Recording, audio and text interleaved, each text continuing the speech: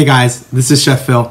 So today is a nice cloudy, rainy day. Um, it's Saturday, so I decided to make another cooking video for my baking and pastry students. They haven't been able to watch me do anything pastry related yet. So um, I was looking at my grandmother's recipe box. Uh, my grandmother passed away a few years ago, and I was very close to both of my grandparents. Uh, my grandmother Marion, on my dad's side, was um, a great cook.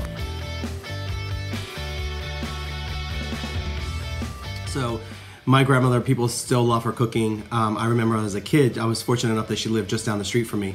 I would go over there um, every day, multiple times a day. And um, one thing she always made was bread pudding. So I was digging through her recipe box and I found her bread pudding recipe and I decided, why not? We have lots of bread. I need to do something for my baking and pastry students, which I miss. So I decided to, uh, to find one of her recipes and make her bread pudding. Um, when I was reading it, though, it was very basic, kind of like most old recipes are. So I decided to put my own little modern twist on it. I added some apples, some pears, some coconut sugar instead of granulated sugar, some maple syrup, some nutmeg, um, heavy cream instead of just milk, uh, vanilla bean paste, and I kind of made up my own version of a pear and apple caramel bread pudding with fresh nutmeg. So I hope you guys like it. Um, I'm gonna go into the video here in a minute and show you how to do it, and then we'll compare the two recipes. Thanks.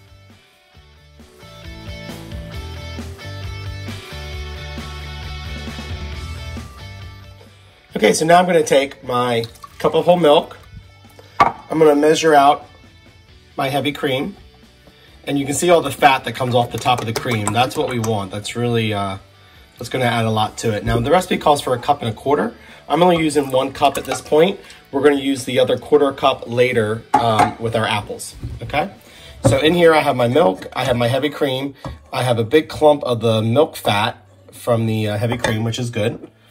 We're gonna add our brown sugar. We're gonna add our salt. And I'm gonna add our butter. This is all gonna go on the stove and we're gonna bring it to a simmer. We have our mixture on the stove now. I did neglect to tell you that the recipe does call for white sugar. I've been trying to use coconut sugar and other forms of natural sugar as opposed to refined or granulated white sugar. So in this recipe, we're actually using brown sugar and coconut palm sugar.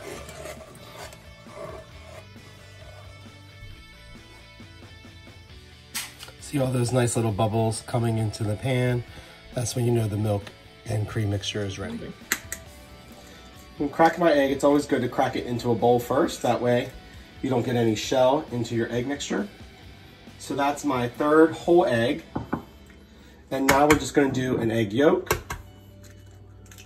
We have one in there already. So I'm just gonna go back and forth between the shells to separate the egg white from the egg yolk. So in my bowl, I have three whole eggs and two egg yolks. One nice little trick is if you crack your egg and you get a piece of shell into your bowl, you can use the shell itself to scoop the piece of shell out of the mixture because the calcium that makes up the shell, the calciums come together almost like magnets when you go to pick them up um, as opposed to your finger where the shell just runs away from you. So that's just a nice little tip. Now we're gonna take just our eggs and our egg yolks and we're gonna whisk it. I'm using my little baby whisk here. Um, I can't seem to find my big whisk this morning, so we're just improvising to make it work. All I wanna do here is just scramble my eggs up. And again, this is a twist on a bread pudding that was my, my grandmother's recipe and I'm just kind of adding my own little spin and twist onto it. So now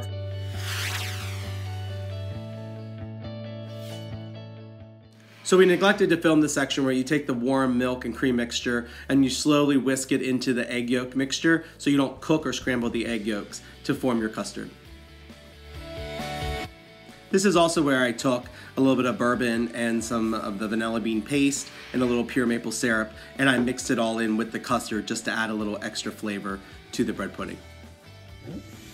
So we have our bread. I've just taken it and I've just kind of ripped it out. These are some leftover dinner rolls because of this whole COVID-19, we've been ordering carry out like lots of other people and we've been trying not to eat bread in our house. So every time they give us dinner rolls, we just save them and I figured why not make bread pudding? So this is the custard we made earlier. I've torn up all my dinner rolls and I'm just going to pour the custard over the bread. And then I'm just going to mix it up and let it sit here. We want the bread to start to absorb all that yummy goodness, all the custard, the cream, the milk, the eggs, the sugar, the vanilla, the bourbon. And we're gonna let this sit for a few minutes. This is gonna sit for probably about five minutes while the apples and pears are sauteing. And then we'll come back and put the whole thing together. This bread pudding really only takes about 45 minutes start to finish. The longest portion of it is gonna be cooking in the oven.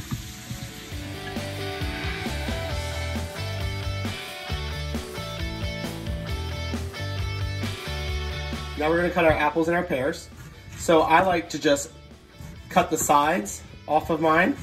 And because this is a rustic bread pudding, I have my core here. Because it's a rustic bread pudding, I'm leaving the skin on because I think it helps add to that rustic nature. Plus you have a lot of nutrients in the skin. These have all been washed. If I was doing this as a French, you know, finer dessert, I would peel them. Um, but for this case, it's fine. I'm just doing a rough chop on my apples and my pears. So I have one Granny Smith apple and I have two pears. Okay, so now I'm to saute the apples and the pears. So I'm going to take the rest of my butter. I'm to let that melt into my pan. And as it starts to melt, I prefer using Irish butter when I cook, and when I'm baking, I particularly like salted butter for sauteing and unsalted for my doughs. I'm gonna add all my chopped apples and pears.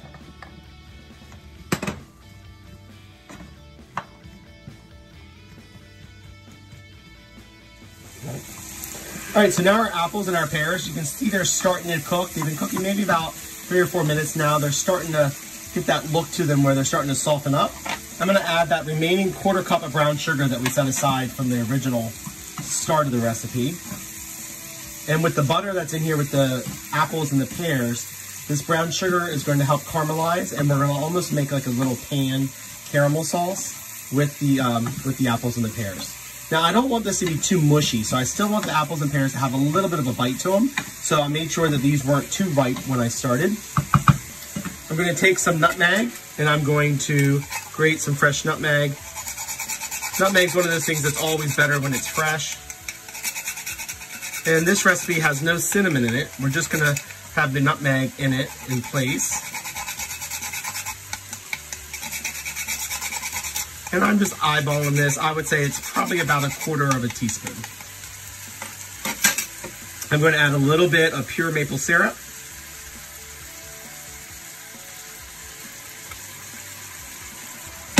Mix that around. And then just a little splash of our bourbon.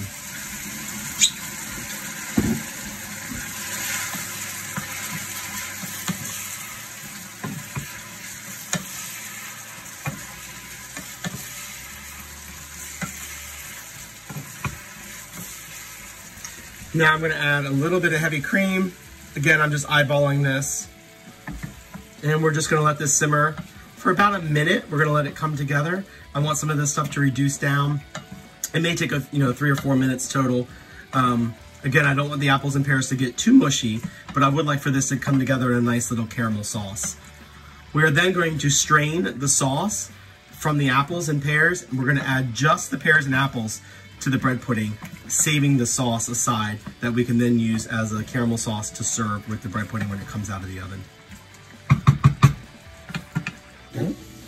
So we have our bread. I've just taken it and I've just kind of ripped it out. These were some leftover dinner rolls. Because of this whole COVID-19, we've been ordering carry out like lots of other people and we've been trying not to eat bread in our house. So every time they give us dinner rolls, we just save them and I figured why not make bread pudding? So this is the custard we made earlier. I've torn up all my dinner rolls and I'm just going to pour the custard over the bread. And then I'm just going to mix it up and let it sit here. We want the bread to start to absorb all that yummy goodness, all the custard, the cream, the milk, the eggs, the sugar, the vanilla, the bourbon. And we're gonna let this sit for a few minutes. This is gonna sit for probably about five minutes while the apples and pears are sauteing and then we'll come back and put the whole thing together. This bread pudding really only takes about 45 minutes start to finish. The longest portion of it is going to be cooking in the oven. All right, so now we have our apple and pear mixture. I'm using a slotted spoon and I'm just going to put the apples and pears in with the bread. Again, we don't really want this caramel sauce that we just created. We're gonna save this and we're gonna pour this over our bread pudding when it comes out of the oven. This is a great little bread pudding because it saves on a lot of dishes and you end up with a delicious bread pudding and a sauce all at the same time. Now to the sauce, I'm just gonna add a tiny bit of my vanilla bean paste. And then I'll set this aside for when we're finished with the bread pudding. Now that we have our mixture mixed together, I'm just gonna gently fold this together to incorporate the apples and the pears in with the bread. And then I am going to pour this into my buttered casserole pan.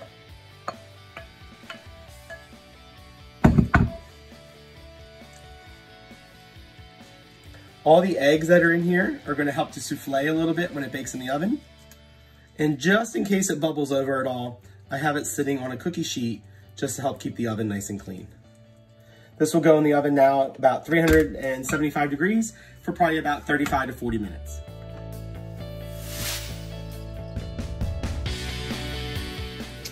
All right guys, so the bread pudding is out of the oven now. You can see it's nice and golden brown on top.